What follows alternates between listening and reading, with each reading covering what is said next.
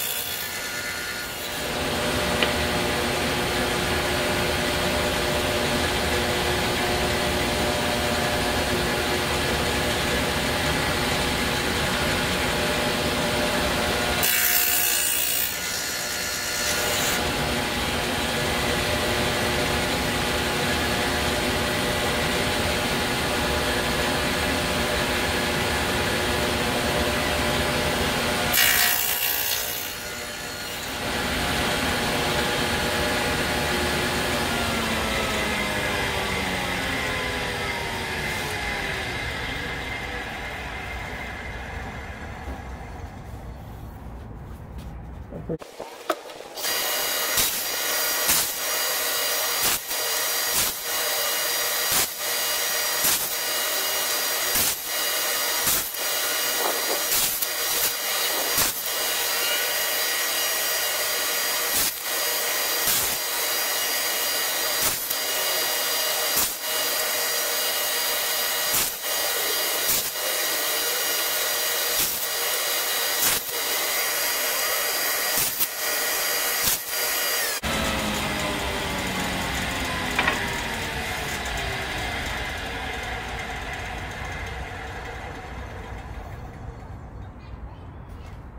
decide you want to build one of these and you don't have a dado stack here, I know they frown upon these things in Europe. Uh, you don't really have to have one. If you're doing multiples, it makes it really nice to cut all that out at one time. But if you got a regular table saw with a, just a single blade up there, you can come in here and make a cut here, measure over, make a cut there, and then just go back and forth and work it across there and cut all that out. Maybe take a chisel and cut that. But I have a dado stack, and it makes quick work doing a whole bunch of these. Okay, for this step, Roy's taking the W pieces and he's cutting a rabbet on each end so that they'll fit together with the U's. And it's going to look like this. You could do this with two passes with the table saw, but since we have a dado stack, we're using our dado set to uh, cut the rabbets. So we're going to cut a rabbet on both ends of the W's.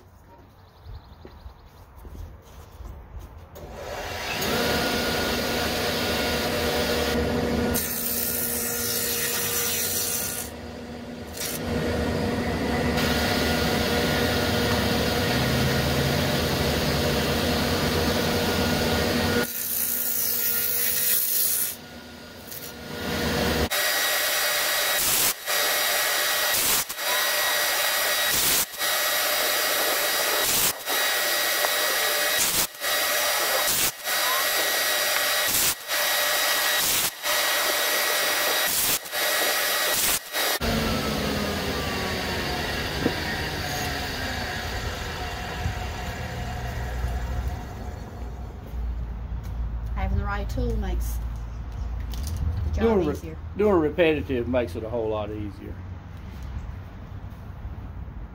If you're not used to using a table saw, uh, you always want to steady your work with either the fence or the guide, uh, miter guide here. You do not want to use both at the same time. So that's why I space off, I'm just using this as a spacer and then I'm pushing my board with just a miter guide here You do not want to have it where you're against the fence and the miter guide at the same time. Uh, that can cause some serious kickback problems. So uh, anytime you can use one of these or you can use the other one, but don't use them at the same time. Little safety tip there.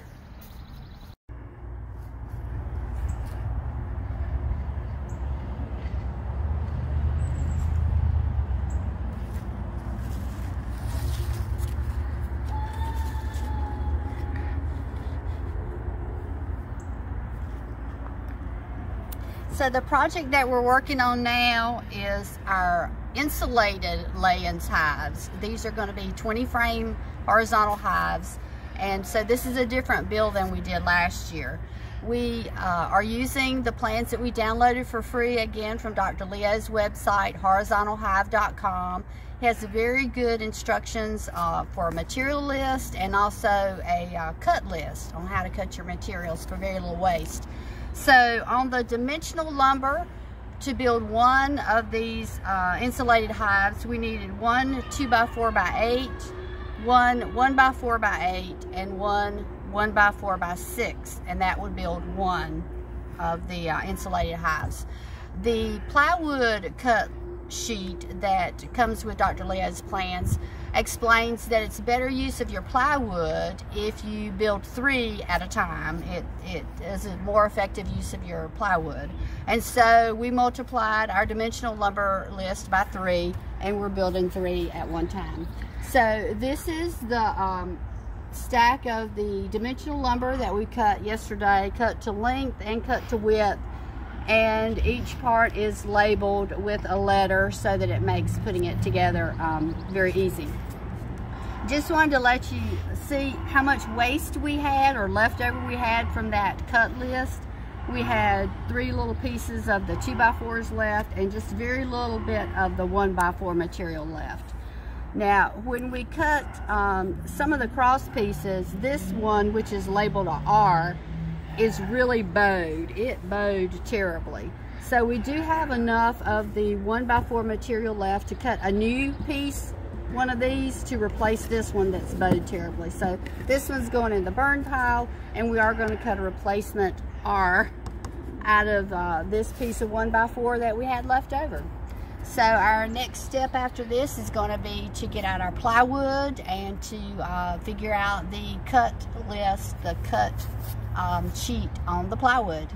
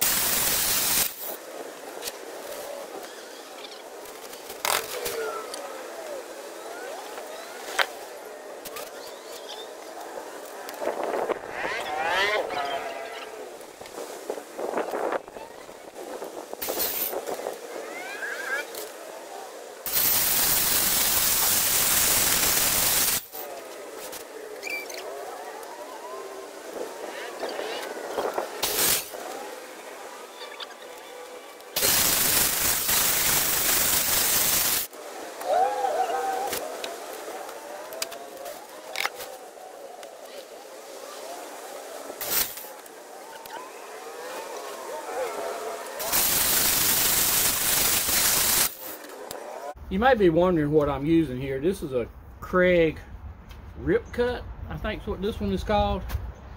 So you got a 90 degree here and you've got this sled and mo uh, most uh, circular saws can fit on that sled and you adjust it and lock it in then you can set your uh, pointer here and I'll tell you I've ripped plywood since I was 12 15 years old and this is by far the easiest way I've found to cut plywood. You know breaking these big sheets down it's way easier than trying to do it on the table saw.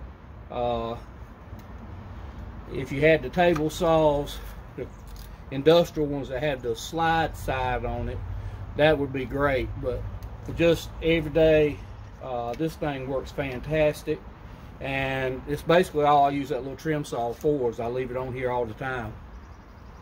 Works great. I'm not you know uh, affiliated with anybody but uh, well worth the money. So we use our Kreg rip cut to rip all the long pieces of plywood. Now we're doing cross cut. And a while back I made a cross cut sled to fit my 20 inch DeWalt. So it's a piece of uh, quarter inch plywood with uh, a couple more pieces here that's glued and stapled together. So all I'm doing here is where Shirley puts her line, I put this edge right where, right on the pencil mark.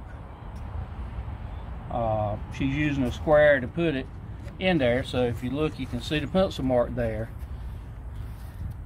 so when you make a crosscut sled, you leave it wide. Then you just take your your saw that you're making it for, and you make a cut with it. And when you make that cut with the saw, it's always going to be that wide. Uh,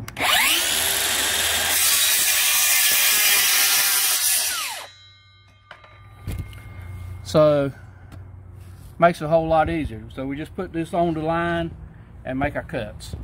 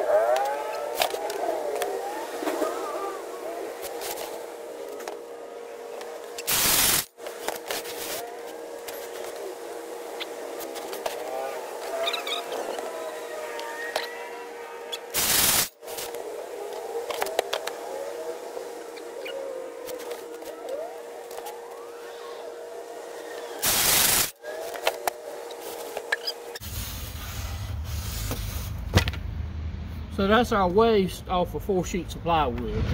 Uh, so I think that turned out pretty good. Well, there's, there's, some little narrow strips too. Narrow strips. There's like four of these. yeah, and there's three or four strips like this. But uh, all in all, I think that's a pretty efficient use of the plywood. I think so too. That I might have enough here to build me a birdhouse or mm -hmm. kind of wanting to build a mason bee uh, house for hmm. mason bees. That looks like plenty of material to do that. Always use a scrap piece of plywood for something.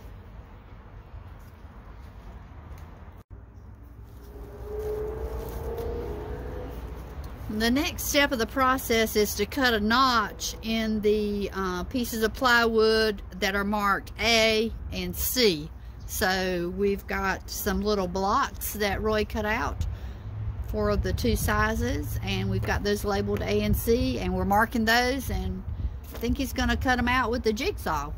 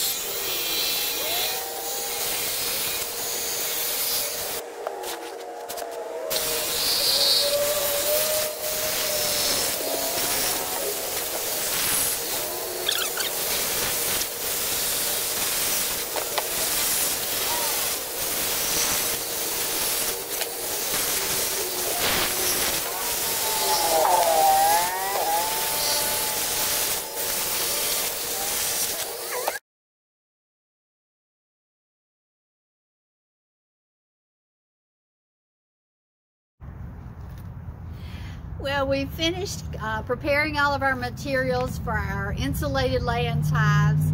We spent yesterday uh, working on the dimensional lumber. We probably spent about five hours yesterday doing that.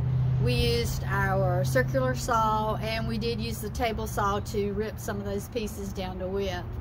Today we've been working on breaking down the sheet goods. That's the uh, four sheets of plywood and we've ended up with enough uh, parts to build three of the uh, insulated hives from this material list. So again, we downloaded the plans for free from Dr. Leo's website, horizontalhive.com. We've used the uh, tools that we had. We had circular saws, we had a table saw. Uh, but quite frankly, uh, you could build this project using a handsaw and a ruler. I mean, that's, that's what you've got to have.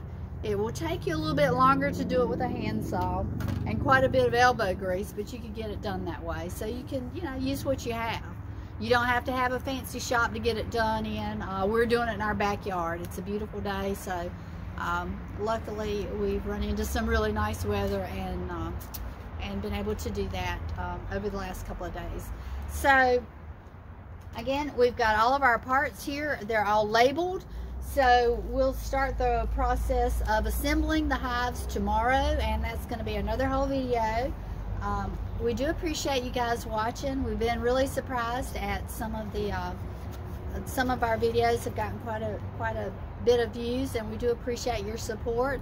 If you haven't subscribed to our channel yet, please do that and help us to keep growing thank you so much. Be sure and give us a thumbs up and uh, we'll see you when we start the assembly process.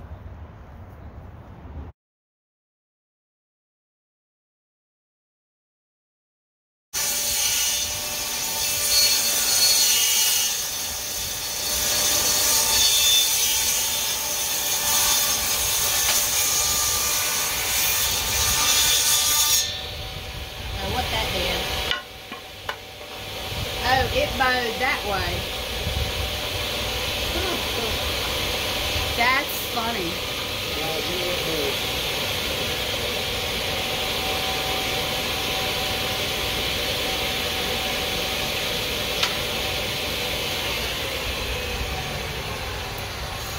That board warped enough that it popped and bowed that way. Oh my goodness when we cut it. So we're trying to get rid of a bow and we have a bow in a different direction. Look how much, wow. Wow. That's how much stress was in the middle of that board. Wow. I don't even know what else to say, but wow. This still may be better piece. It may be better bowing, being bowed instead of curved. yeah. because it's going to be mounted like this, I think. So it may still be better than the other bowed piece that we were trying to replace. Okay. Wow. Forces of nature.